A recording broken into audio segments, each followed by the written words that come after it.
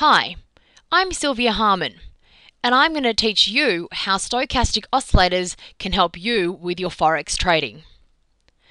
A stochastic oscillator is essentially a momentum indicator that measures the strength of currencies. The use of oscillators are especially useful when it comes to forex trading. The foreign exchange market is the biggest financial market in the world, and anyone wishing to become a forex trader must have a really good grasp of how the exchange of currencies work.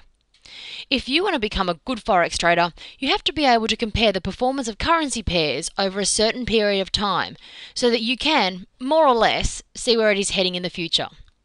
The value of stochastic oscillators range from 1 to 100.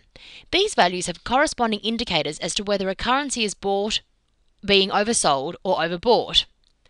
If the value of the stochastic oscillator goes beyond 80, then it means that the particular currency pair is overbought.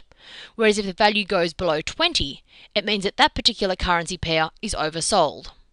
While a stochastic oscillator can be used to measure other variables, it is best used in Forex because it can very well measure the relative strength or weakness of particular currency pairs, which makes it an invaluable tool when it comes to trading because it can determine a particular action that a trader should take to put forward his best interests. In the value of currency, if the value of currency pairs goes beyond 80, it means that the currency should be sold, whereas if it goes below 20, it means the currency should be purchased. Momentum oscillators can also be used to interpret market trends in the foreign exchange industry, in that certain indicators can be used to tell when it is the best time to buy or sell currency.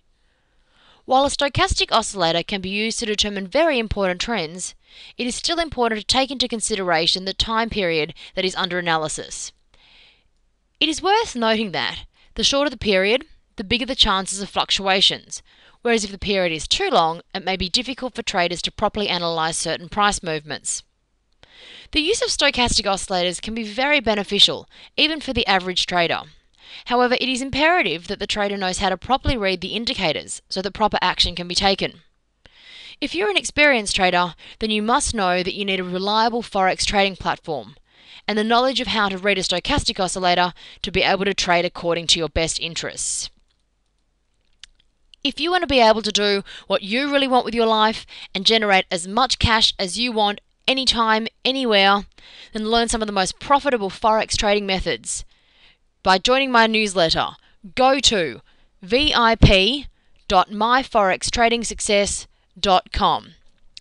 If you want to be able to do what you really want with your life and generate as much cash as you want anytime, anywhere, learn some of the most profitable forex trading methods, join my newsletter. Go to vip.myforextradingsuccess.com. Thanks and see you on the other side.